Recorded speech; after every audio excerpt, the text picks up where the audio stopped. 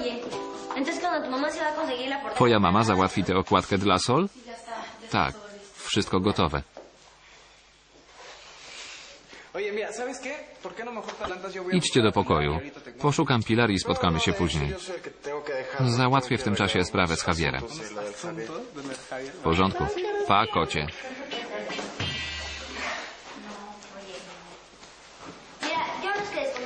Ufam twojej mamie, ale na wszelki wypadek przygotujmy plan B.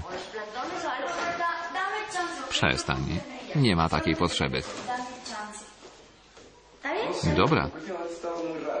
Ostatnio jesteś nie w sosie. Bo mam problemy z ojcem.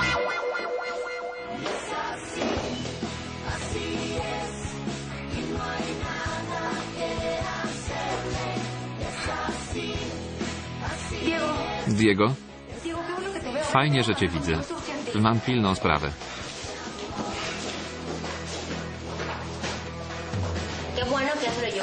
Dobrze, że go zabrała, bo nie mogę na niego patrzeć.